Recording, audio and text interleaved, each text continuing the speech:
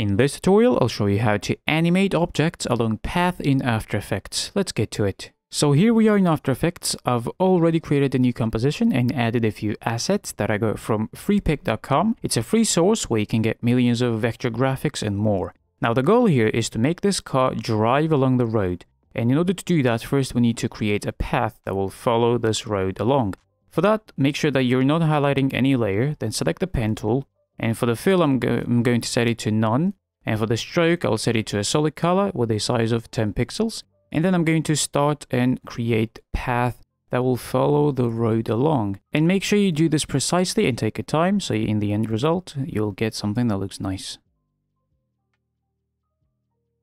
And once you're done, we can open the properties of the shape, go into content, shape 1, path 1, and here make sure that the path is highlighted, then press Ctrl C to copy the path.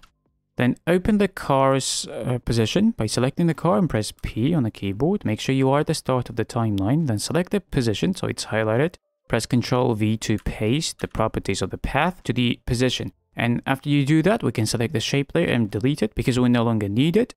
And on the timeline, you will see that the position keyframes are being created. And here, if we preview this, you will see that the car now follows the road along. But you'll see that the orientation of the car is not changing. It's just following the path as is. And also, in order to manipulate the speed of the animation, you can drag the end keyframe either forward or backward in time. I'll do this to 5 seconds, so it's nice and smooth. And uh, yeah, in order to fix the orientation thingy, so the car faces toward the, the way that it's driving, we can simply right click on a layer of the car, go into transform, and then select auto orient, then check orient along path and click OK. And now the car's orientation will change according to the, to the road. But it might be wrong, you can see here, it's facing the wrong way. And in order to fix it, we can simply press R on the car to bring up its rotation. Then find the point where the road is somewhat straight and let's rotate the car so it faces toward the way that it's driving. And here you can see that now the car is parallel to the road.